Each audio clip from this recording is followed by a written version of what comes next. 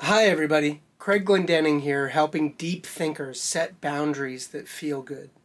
If you're a deep thinker like me, you spend a lot of time in a world of ideas.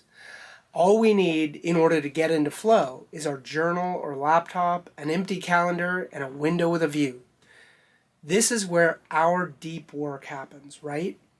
Where we build, create, develop concepts, write code, or do whatever important work we do. This is where all the high leverage work that really moves the needle for us happens. To other people, it can look like daydreaming or doing nothing. But what they can't see is that our minds are like a car with the hood open that is being worked on, and all the parts are strewn out all over the place. When we do deep work, we do high quality work and we tend to be meticulous, precise, and frankly a bit OCD about the work we do. On top of this, we also tend to be very conscientious about the needs of others and feel guilty saying no when others need our time and attention.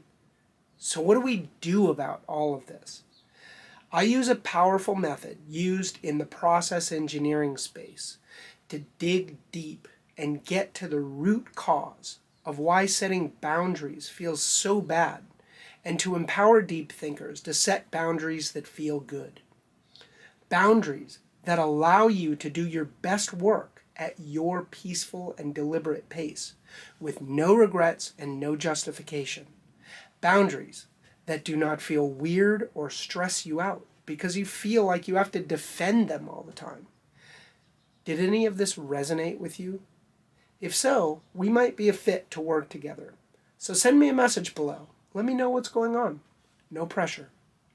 I am not going to spam you, sell your email, or anything unethical or pushy. Let's just see if we're a good fit to do some deep work together. I know you're overwhelmed, and I hope you do reach out because setting boundaries is really important, and feeling good about setting them is really important too. Take care.